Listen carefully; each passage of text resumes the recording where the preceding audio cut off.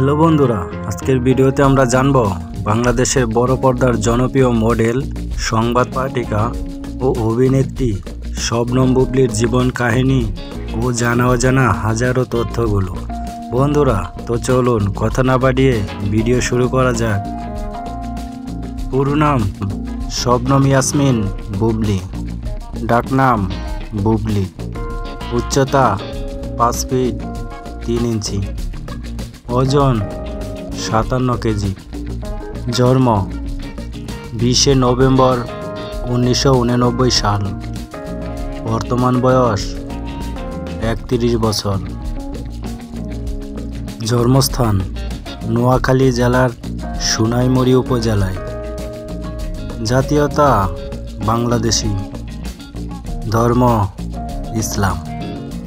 বৈবাহিক জীবন শবনম বুবলি। দুই হাজার উনিশ সালে ডালিউড কিং শাকিব খানের সাথে বিবাহ বন্ধনে আবদ্ধ হন এবং তাদের একটি ছেলে সন্তান রয়েছে, নাম শেহজাদ খান বীর। শিক্ষা জীবন।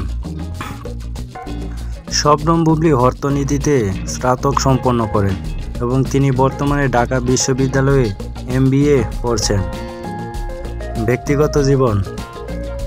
চার ভাই বোনের মধ্যে বুবলি তৃতীয়, বড় বোন নাজনীন মিমি ও আরেক বোন শারমিন সুইটি, যিনি একটি বেসরকারি টিভি চ্যানেলের সংবাদ পাঠিকা। অভিনয় জীবন। বুবলির কর্মজীবন শুরু হয় সংবাদ পাঠ দিয়ে। তিনি বাংলাদেশের জনপ্রিয় বেসরকারি টেলিভিশন চ্যানেল বাংলা ভিশনে দু হাজার তেরো সালে সংবাদ পাঠ শুরু করেন। দু হাজার ষোলো সালে বসগিরি চলচ্চিত্রের পরিচালক শামীম আহমেদ রনি তাকে এই চলচ্চিত্রে অভিনয়ের প্রস্তাব দিলে তিনি সম্মত হন।